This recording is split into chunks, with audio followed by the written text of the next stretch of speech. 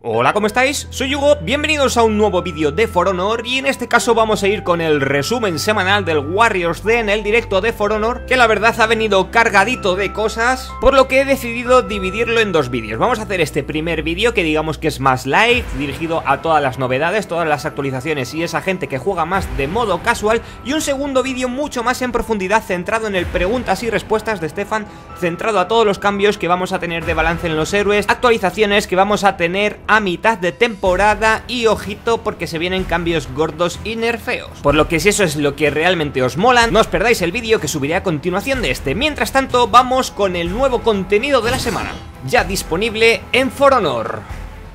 Tenemos los outfits de las máscaras de Apollyon. Recordamos que las teníamos en todos los héroes Pues ya la tenemos disponible en los Gulin Y así es como se ven. Tenemos primero al Tiandi Que la verdad, eh, con estos colores que llevan de outfits Quedan bastante chulas. Eh, Recordar que había personajes que ya llevaban casco Y cuando salía el emote encima mmm, Quedaba bastante cutre, ¿no? En el caso del Centurión, Guardián, Justiciero. Pero bueno, ya tenemos la máscara Los lobos de Apollyon disponible para todos los Gulin así como en sus emotes y ejecuciones.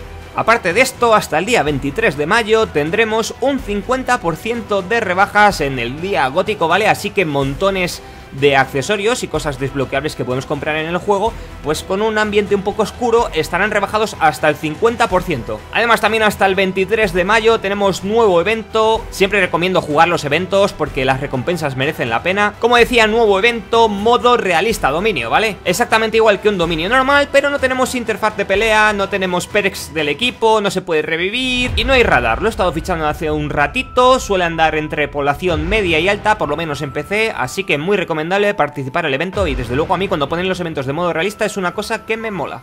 Además de esto y el preguntas y respuestas en el directo, pues la verdad que dedicaron bastantes minutos a un tema relacionado con las mecánicas de las telas en el juego, o sea, cómo eran las texturas y los movimientos, cómo estaban hechos de las telas. Eh, hubo ciertas cosas que estuvieron divertidas de ver con el Laubringer metido una especie de pañuelo, pero bueno, sin más, solamente mencionar esto, porque ya sabéis que me gusta hacer estos vídeos, sobre todo pues para esa gente que no tiene tiempo o no le pilla en casa para poder ver esa horaza de directo, pues resumirlo en unos pocos minutos. Y por último tenemos cambios que, ojo, esto sí estaba siendo esperado, ¿vale? Recordáis que los rewards de experiencia y acero estaban totalmente rotos desde el cambio de temporada, o sea, habían hecho unos cambios que en vez de dar una cantidad fija, nos daban una cantidad en base al desempeño en la partida. Lo que pasa es que esas cantidades eran irrisorias, eran una mierda. No sé si estaban dando 6 de acero, 7 de acero, una basura. Vale, pues desde el mantenimiento que tuvo lugar ayer, parece ser que esto ya lo han arreglado y han ajustado las cantidades de experiencia y acero. Yo todavía no he tenido la posibilidad de jugar, así que si alguien lo ha hecho ya, por favor, decidnos si han aumentado las cantidades de acero a unas cifras decentes o por el contrario, pues lo han cambiado de ganar 6 eh, de acero, ahora estamos ganando 7, 8 de acero. Vamos, que el cambio sin más. En cualquier caso, los que lo hayáis podido probar, me lo dejéis aquí en comentarios, así también me entero. Además, Además, ha solucionado un bug que estaba afectando a los duelos contra IA, que parece ser que tampoco estaban dando las recompensas adecuadas, o sea, las recompensas estaban jodidas por todos lados. Y ojito, porque se ha arreglado un bug jugadores de Highlander o Celta porque parece ser que se podía spamear bastante ese cambio entre estances, ¿vale? Cuando hacíamos la patada, el agarre para ganar esos frames de invulnerabilidad. Así que se ha arreglado este exploit que permitía al Celta consistentemente ganar esos frames de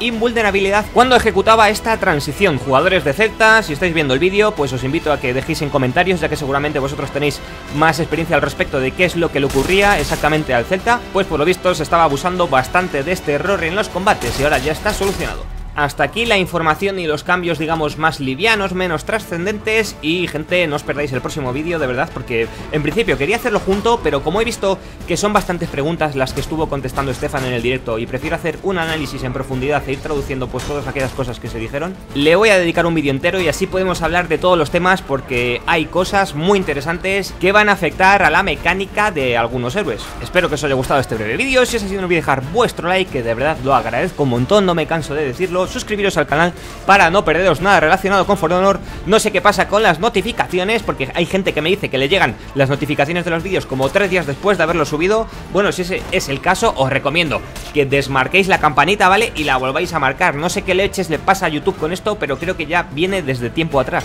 Cualquier cosa relacionada a lo que he mencionado en el vídeo o voy a mencionar en el próximo vídeo, me lo podéis dejar aquí abajo en comentarios. Y ya conocéis mi Twitter, arroba con 3 y. Dicho todo esto, me despido. Hasta el próximo vídeo. Adiós.